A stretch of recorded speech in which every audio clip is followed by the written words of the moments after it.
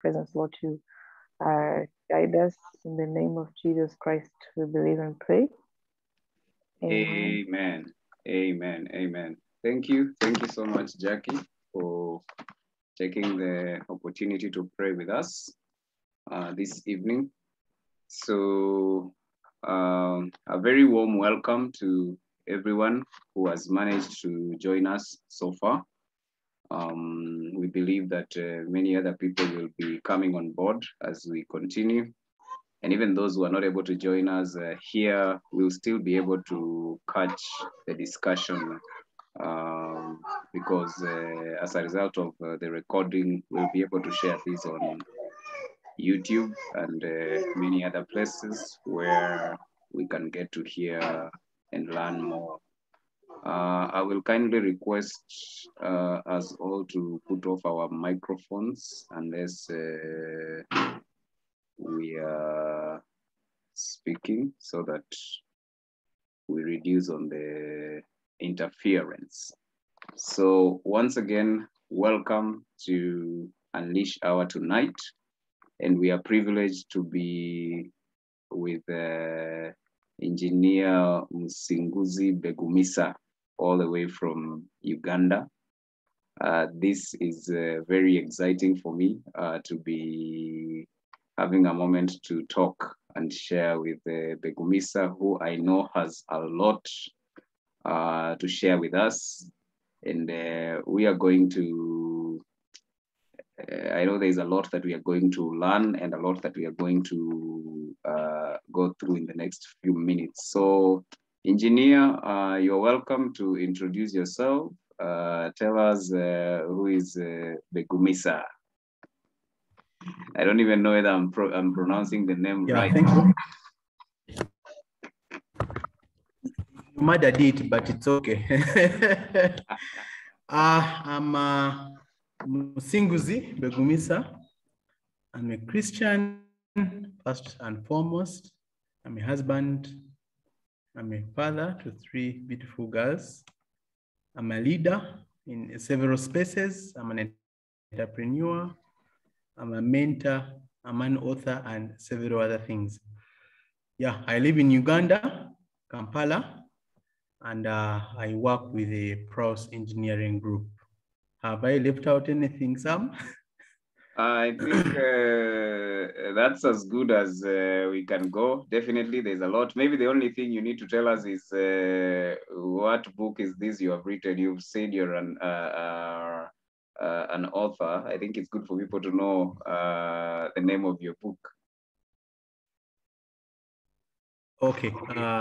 let me requalify my qualification as an author. I am an accidental author, but but uh, I've written a book called uh, "In Search of Sanity." Mm. Yeah, it's uh, it's a good book. You should call me again. We talk about it if time allows. But it's a good book that uh, talks about my journey with um, bipolar disorder yes. and how I have managed to scale it with the help of God. Yeah. Wow. Awesome, Briefly. awesome, awesome, awesome. Mm. Yeah, so tonight, uh, the focus of our discussion is uh, majorly on entrepreneurship. Uh, that's why I called the title uh, From Employee to Employer, uh, which is the, the story of uh, engineer here. and to start us off, I want to pose a question. Uh, we we have all heard uh, all those stories about uh, how young children start entrepreneurship with those lemonade stands. some of them start with selling sweets. Others, you've heard stories of making bee, you know, making ornaments out of beads and all that. So when we, we think entrepreneurship, uh, what's your own story? Where did it all start for you? Uh, okay, when you're talking about the lemonade stories, I remembered just last week, I think, I saw a meme that was um, uh, flying around the, the internet yeah. about how people people talk about entrepreneurs and how they started with nothing and they have something. Yes. Some guy said, no, I started without land and I have a school. In- but my story, my story of entrepreneurship Uh-huh. uh, starts way back. I think I can remember high school, high school S6 vacation. Yeah. We're looking at what to do with S6 vacation. And uh, we started two investment clubs, Uh-huh. uh, bought some shares, Stanbic bank and stuff. And Yeah. because of so many circumstances around us, those two investment clubs are, are no longer uh, in existence. Mhm. And the lesson I learned from that one Yeah. is that if you're going to do a venture, you need to be like-minded. You have if someone's going to be your business partner. Yeah. You've got to be like-minded. Of the same The mind. second venture that I remember along my journey of entrepreneurship, am I clear?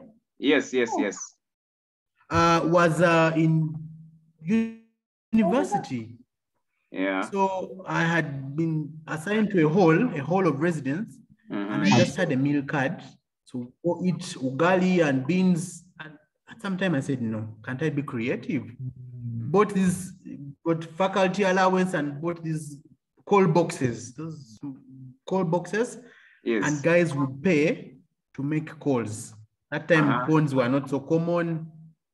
And so that one also died because there was not good supervision. The Yes. lady we had got ate all the money and we couldn't afford the rent space in the basement. so that was that one for, for university.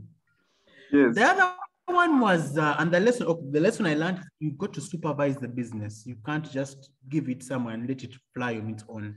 Yes. The, the second last one, because there are many, but let me just give four.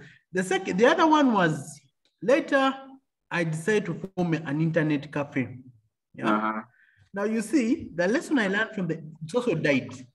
Okay. Some death.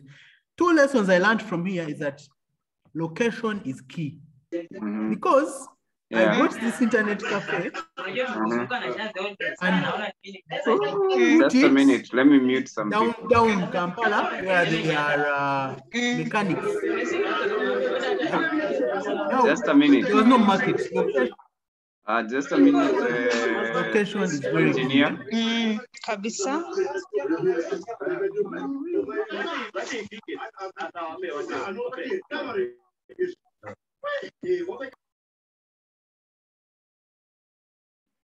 Engineer. Yes, sir. Now you can proceed. Uh, I think somebody had joined the call and their mic was on.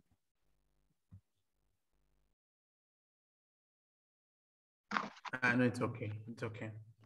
Yeah. So you are Yeah, talking so about that the one, internet the cafe. internet cafe also died because, it-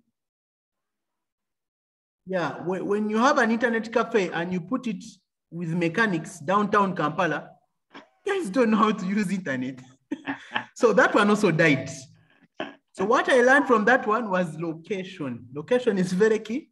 Yes. The other thing Yes. is that that internet cafe, Mhm. I put in a lot of money. I just got furnished. You know these internet cafes are eh, of those days. Yes. Very nice computers and stuff like that. And I lost all the money. And the Mhm. other lesson I learned from that is that when you're starting, you start small. I could Yeah. have used two computers, a small room, tested the market, and then kept on growing. Yeah. The last one along my journey, there are many, there are many, but the last one along my journey in entrepreneurship was now when I wanted to go big and register a company with, with colleagues and people that I know around. Two, Yeah. the first one we registered was called Trintech, Trinity Technical Services. And here with this one, we were, we weren't organized really. Every we had the paperwork and everyone would start their own thi- their thing, Yeah. eat the money when they got a job. It collapsed, did not uh, grow to be what it is. Mhm. Yeah, and, and, and many others, but um, that's my journey with entrepreneurship. I've tried, failed, tried, failed, until the level that I am at now, I am still on a journey. It's not yet work accomplished, but I have a few lessons down my Awesome, awesome, awesome. Uh, that's very good to know about uh, where it all started. So I know one of the things that uh, many of the people who've joined this call want to know is uh, how did you end up leaving uh, a job in government, uh, a well-paying job, a secure career, and all that to venture into entrepreneurship? So first, you can tell us uh, what is it you are doing uh, in government, and you know how how did this uh, how did this come about? Why did you make the choice uh, to venture into entrepreneurship? Okay, my uh, my journey with well, employment and uh, consultancy had come a long way, really, when I finished university, did a few courses and started. Now, there was time when they were recruiting men of integrity into the roads authority of Mhm, Uganda. mhm, And then I was recruited to head the quality control department at Yeah. UNRA, Uganda National Roads Authority. Yeah. Uh, now, it was a good job, very good job, highly paying. I was traveling all over the world, benchmarking, good money, progressing. But for me, my reason for leaving mhm, was I had a gap, I had a, a longing in my heart. eh? Yes. because um let me see if i can put it well you you see when as men as men i think some you can agree when you're Yeah. hitting mid 30s mhm, not yet in the midlife crisis in the 40s but you start asking yourself Yeah. what am i even on this earth for Yes. what is my calling what is my purpose Mhm, is it about getting on planes and traveling all over mhm, those are the questions that plagued me eh? Yes. And so in, in, a, in a bid to answer those questions, I went on my knees. I went to the source mhm, and prayed and fasted. I would do 40 day fasts. I would do I pray in tongues endlessly. Yeah. And uh, and he answers. The Lord answers. So he answered and told me and told me what I was Mhm. supposed to do. mhm, Uh, and the first step was to resign from my job. I have to put a capping here. Not every voice that speaks is from God. you see, eh? uh-huh, So, one the three principles really that I, I, I got from this was that I got the instruction in March Yeah. to leave, mhm, but I left in December. Okay. You see, eh? Yeah. Now, during this period, I was, no, I had to, I had to ask my wife, Yes. how, what do you think about this? mhm, She says, you, you man, what Are you think cra- what are you think you're doing crazy? leaving such a job? Are you mhm, crazy? Yeah. Guys. So, so I, I, um, I have, I had to, I had to bring it like four times. You know, mhm, I told God, you know what, God, mhm, if you've told me and Mm. I'm one with my wife, you've got Yes. tell how so. Hmm? You get it? I like So you're testing the prophecy. I like Eh? that. You're testing like the that. prophecy. It's like, you know, it, guys who are dating, eh? Mhm, and a, a gentleman comes and tells you, man, ah, you look good. God told me to marry you. Hey, if he told me to marry you, let him tell me also. So that we're all in sync. Yes. You see, eh? Yes. And so over a period, I think I had to bring across scripture as well and said, you know what? A matter is established by two or three witnesses.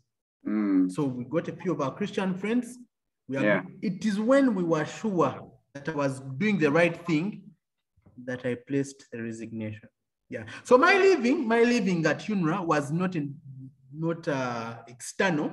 It was my internal processing.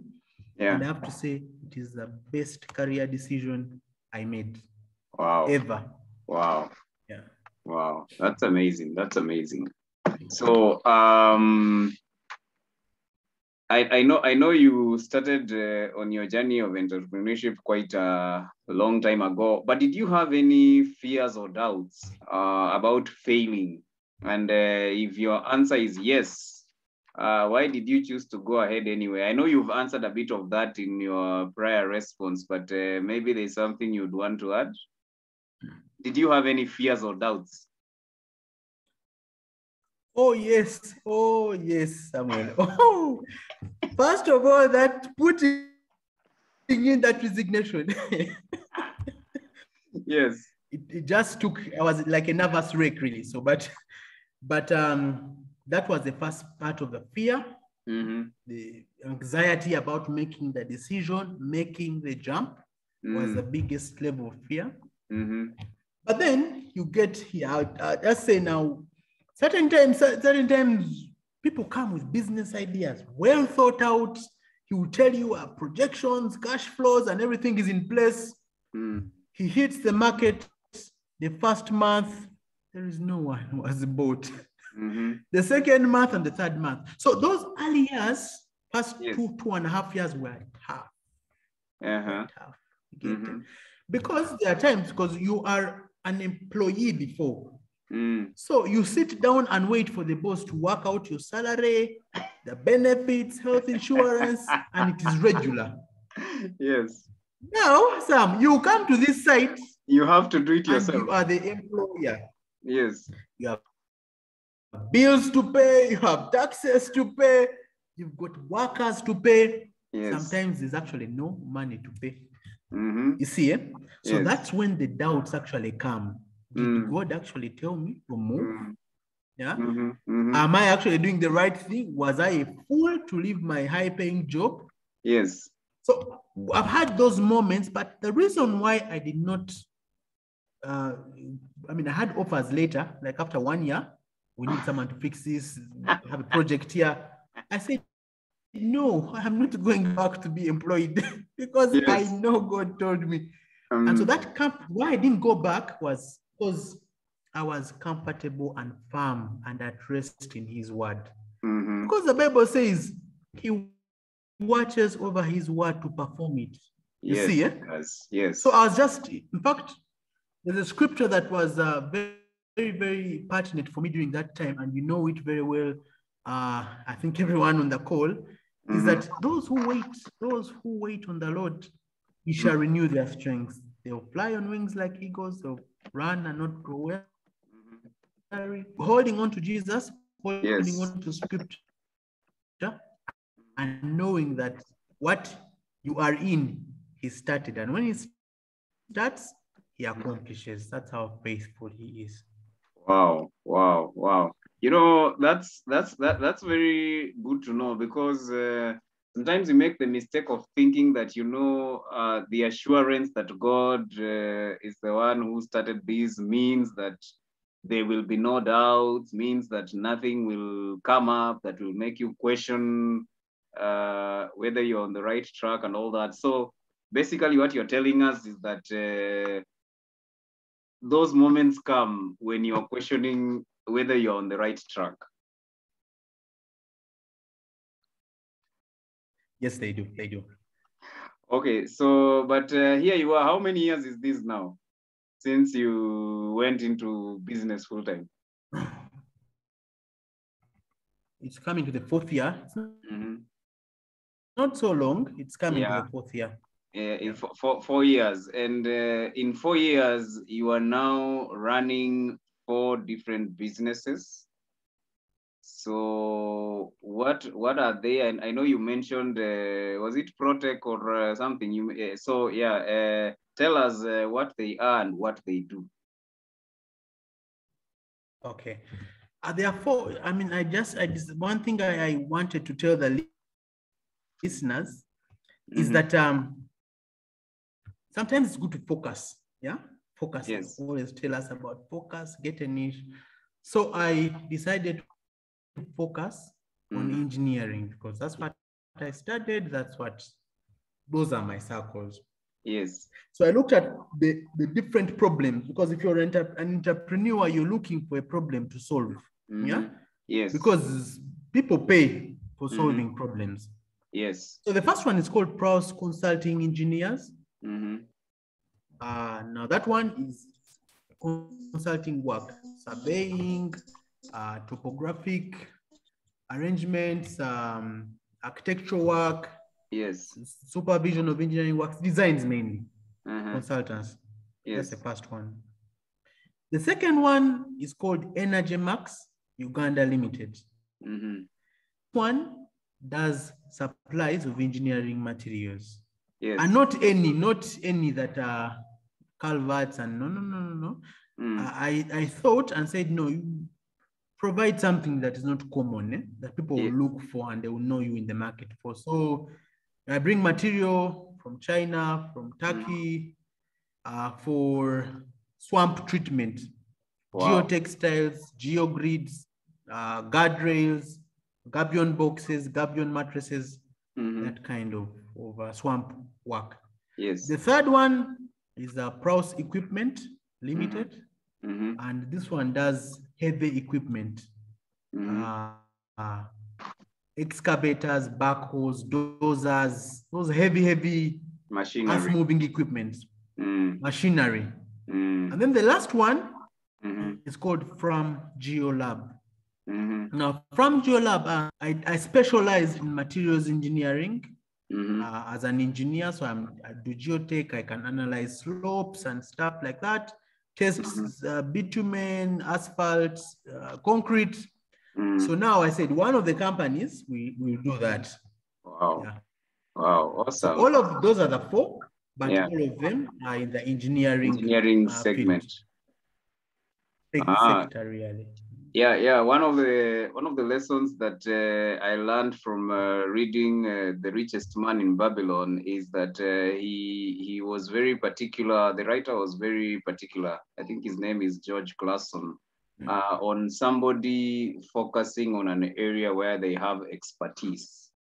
That uh, it's it's not it's not just about uh, starting a business, but uh, are you starting a business where you understand what it is you're doing, or are you able to hire people uh, who understand what it is you're trying to do? You don't just go into business because uh, you have the money to invest. So, and I can see uh, you are a very good student of that uh, in your own way. So, um, this question you answered uh, in the past in a way, but uh, let me bring it up again. Uh, have you ever failed at uh, any venture before uh, your success came? And uh, what lessons did you learn, and how did you manage to bounce back?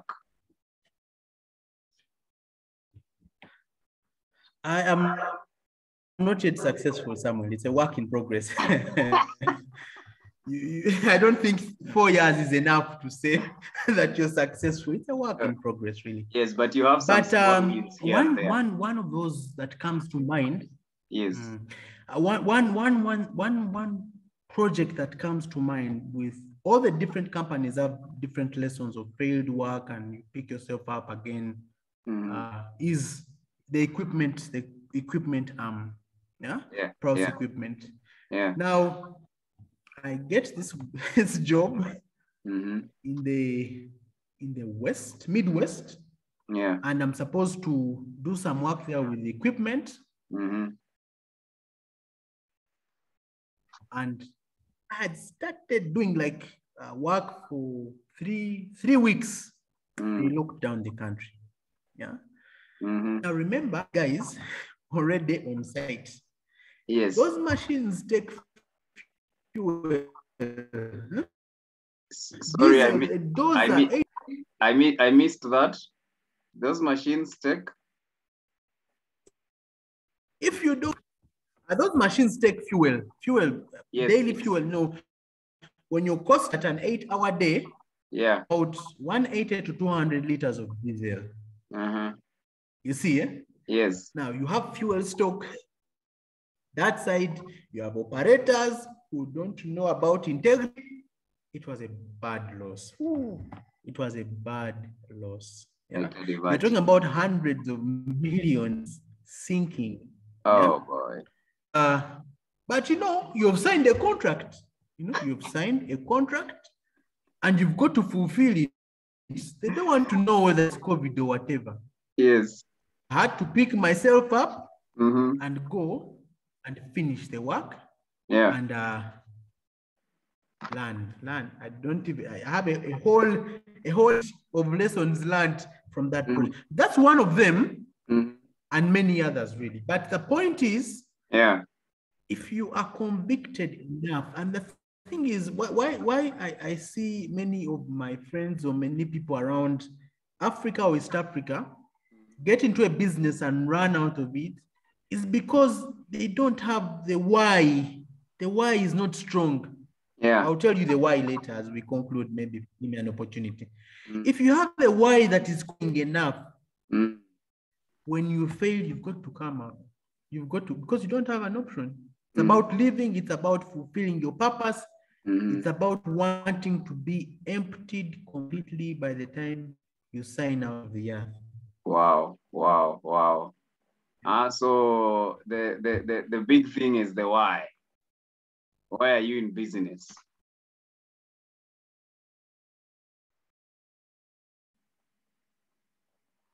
Uh, can you hear me, engineer?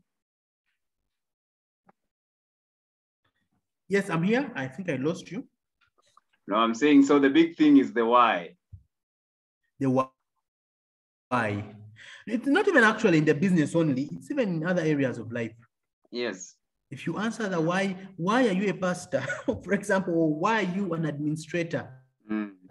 So when the turbulence comes, Yeah. you have some anchoring. Yeah. Ah, nice, nice, nice, nice.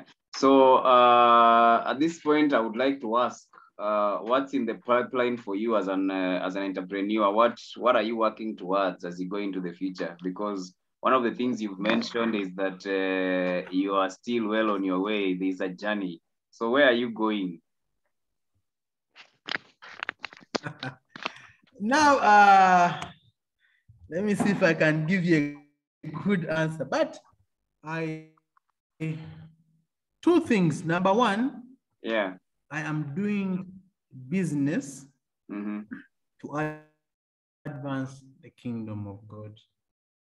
See, so I've got some private targets that I need to hit in the Yeah. particular area that the Lord has placed upon my heart to finance. uh And uh, I'm looking at scaling slowly, slowly, slowly. Uh, I've learned that uh, sometimes when when you explode too fast, you burn. uh Yeah, so slowly, one day at a time, Yeah. as I seek, as I seek Him, whichever direction I'm supposed to take. And let me just drop this in now Yes. about how important it is, Mhm. even in your waiting time, to Yeah. pray. Yeah. Yeah. Yeah. There's this particular time, it's just an example I, I thought about. I normally wake up at 5, o- 5 a.m. and have an hour of worship. hmm You know, just get up and Yeah. tell God how good He is for one hour. hmm hmm yeah, and um, I've already lined up the program for the day. Yeah. I have my uh, reflector jacket and, and boots, and I'm getting out of the prayer room. Yes. And uh, he whispers and- says, No, I don't want you to go to this site. huh? Mm-hmm. Go to the other office. Mm-hmm. I said, No way. I'm already dressed. Jam is building up. Hmm? Mm-hmm. But you know, I've learned slowly, as many of you have, that sometimes when you disobey, Yes, it hurts you. So I, I- just reluctantly, reluctantly went back, Mhm. removed all the clothes, dressed up, up fresh, put on a tie, and went To the to office. that office. I had some work, some consultancy work there. Mm-hmm. Do you know who I met at the entrance of that door in that office? Mm-hmm. It was the MD who had been away for, for quite a long time. You see? Mm-hmm. Hey, engineer, how are you? You finished your assignment. Have you been paid? I said, No, I've been demanding this invoice for a long time. He shouted at the accountant, Brian, Brian, please sort this man today. Okay, engineer, I'm busy. I'm going for a meeting. Ah, Mm-hmm. What, what, do you see? What you had been what you had been uh, asking for forever. Yeah. just one. And you know, the lesson I've learned, like Yeah. it can cut across to every area of our lives. Mhm, Obey, mhm. obey the Lord. Sometimes people feel when you tell them I've heard the Lord speak, it's like you're weird. Mhm.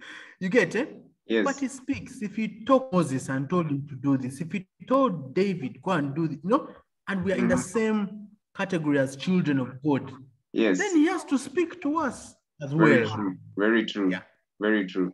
Wow. I um one one thing that is coming out very clearly from my conversation with you is that uh, um your your relationship with God is very critical to what you're doing as an entrepreneur and uh, you are not just an entrepreneur for the sake of being an entrepreneur you are also really focused on uh, uh, being a blessing to the kingdom of God uh, from your perspective as an entrepreneur. That I, I can see very clearly, and, and that's very encouraging. Uh, yes, uh, yes, indeed. Uh, I mean, uh, Marseille and uh, Jackie, who have, I think they've read my book, they know how far I have come. They Yes, know, you, know- you yes. know, Yes. when you've been in the gutters, hmm, Mhm. it's a heart of gratitude really that pushes you to want to help out as much as you can. Yeah. So Wow. I think for me, it's it's about I don't even know how to put it, but being appreciative for what he, he's done really for me as an individual Uh-huh. and uh, trying to be useful in as much as you can. Yeah. Awesome, awesome. Yeah, that's uh, for for me. That's uh, stewardship. Uh, that is um, making making use of uh, everything really that God has given you uh, to serve Him and to serve other people. Because in serving other people, uh, we are serving God. So finally, my final question before maybe we invite any questions or reactions from the audience would be what what what is your advice for aspiring entrepreneurs and practicing entrepreneurs. Uh, you can separate that or you can say something that cuts across